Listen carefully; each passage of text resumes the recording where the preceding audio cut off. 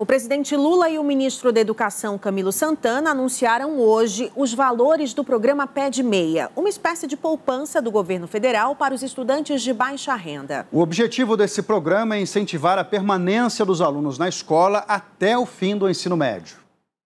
Tauan, de 20 anos, estuda na rede pública do Distrito Federal, onde cursa o EJA, Educação para Jovens e Adultos.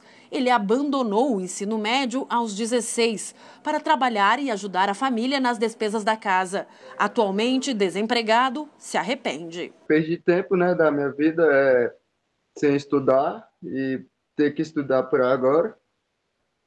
Perdi já o tempo de fazer minha faculdade e ter um futuro melhor.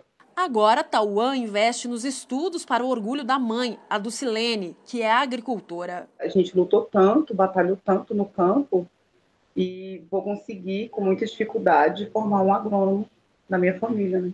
O decreto assinado pelo presidente Lula pretende reduzir a evasão escolar no ensino médio em escolas públicas. Podem participar do programa alunos de famílias inscritas no cadastro único que comprovem a frequência escolar. O estudante deve ainda ser aprovado no final do ano. O valor pago aos alunos será de 2 mil reais por ano, 200 reais na matrícula, mais nove parcelas no mesmo valor. Além disso, ao final do ensino médio, serão pagos bônus de mil reais para cada ano concluído e mais duzentos reais se o aluno prestar o Exame Nacional do Ensino Médio. Jovens entre 19 e 24 anos que cursam a educação de jovens e adultos também vão receber o benefício. Nós estamos falando de 480 mil jovens do ensino médio que estão evadindo a escola no ano, porque nós vivemos ainda num país muito desigual, um país ainda de muita pobreza.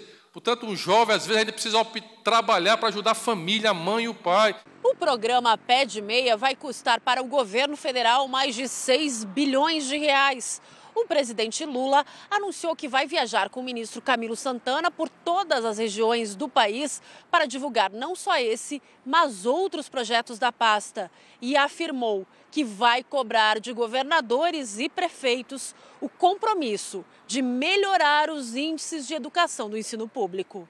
O que nós estamos tentando fazer é evitar que esse dinheiro que a gente está colocando na educação seja no futuro colocado em prisões, seja colocado para recuperar um jovem que não teve oportunidade e caiu no crime organizado. A sua fonte segura de informação cada vez mais perto de você. Baixe agora o aplicativo do SBT News. Selecione o que é mais importante e receba notícias personalizadas.